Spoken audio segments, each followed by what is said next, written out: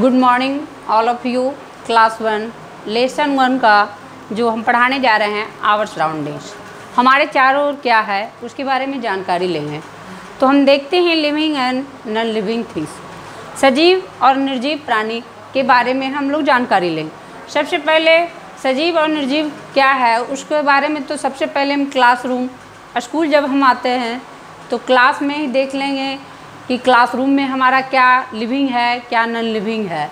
उसके बाद प्लेग्राउंड में देख लेंगे कि क्या लिविंग है और क्या नॉन लिविंग है। तो क्लासरूम में जैसे कि देखते हैं ब्लैक बोर्ड है, चौक है और जितने भी स्लेट है, बुक है, पेंसिल है, टेबल है, चेयर है तो ये सब आपका आता है नॉन लिविंग में। अब हम क्लासरूम की ओर जाते हैं, वहाँ देखते हैं कि हमारा प्लांट है एनिमल्स है और उसके बाद देखते हैं कि स्टूडेंट है, बॉयज़ है, ये सब जो है, लिविंग थिंग्स में आते हैं।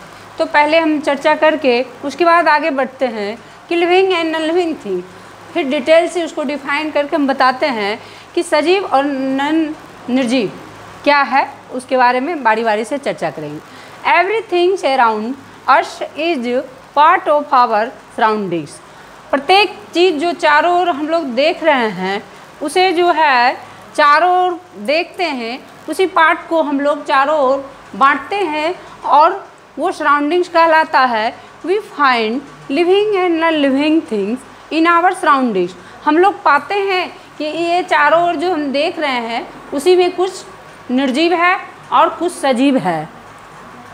तो living things have life and them सजीव प्राणी जो है, उनमें जान नहीं होती है नॉन लिविंग थिंग्स जो जो है उसमें उसमें जो है, प्राण नहीं होती है और लिविंग थिंग्स जो है, उसमें जान होती है। तो देखेंगे कि लिविंग थिंग्स किसे कहेंगे नॉन लिविंग थिंग्स कैसे हम फ़र्क समझेंगे। तो लिविंग थिंग्स में तो सबसे पहले हम लोगों ने पढ़ा कि living things have life in them सजीव प्राणी के पास जो प्राण नहीं प्राण होता है। Non living things do not have life in them निर्जीव में सबसे पहले जान नहीं होता है। तो अब हम आगे चर्चा करते हैं living things all animals plants as well as human being are living things जितने भी जानवर पेड़ पौधे और सबसे पहले मालूम है, वो सजीव प्राणी में आते हैं।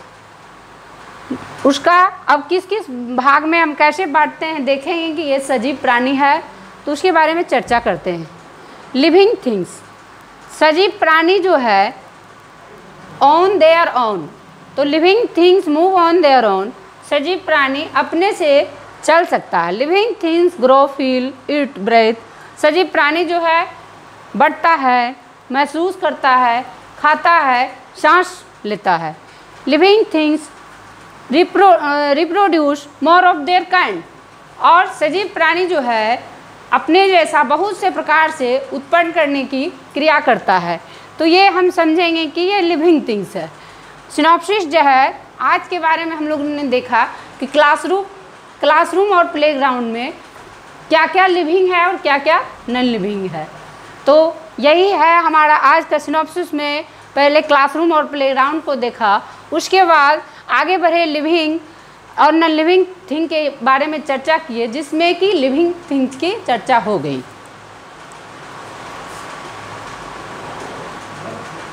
हाँ उसके बाद हम आगे बढ़ते हैं।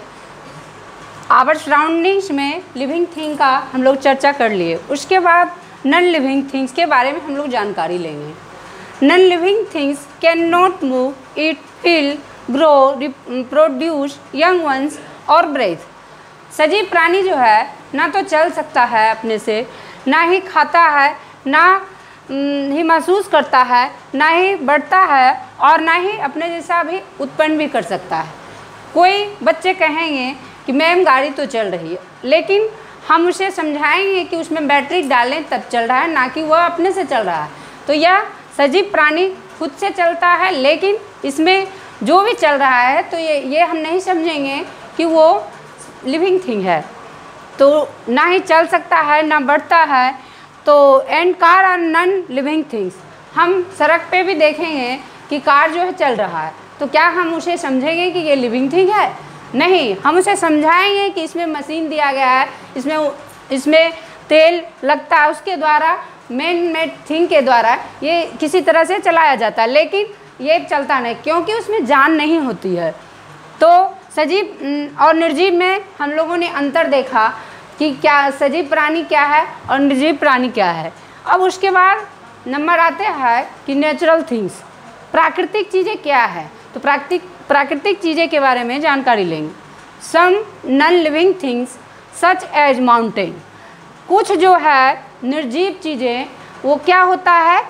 जैसे कि आता है पहाड़। ये क्या आता है? नॉन लिविंग थिंग्स में आता है। और इसे हम नेचुरल थिंग भी कहेंगे।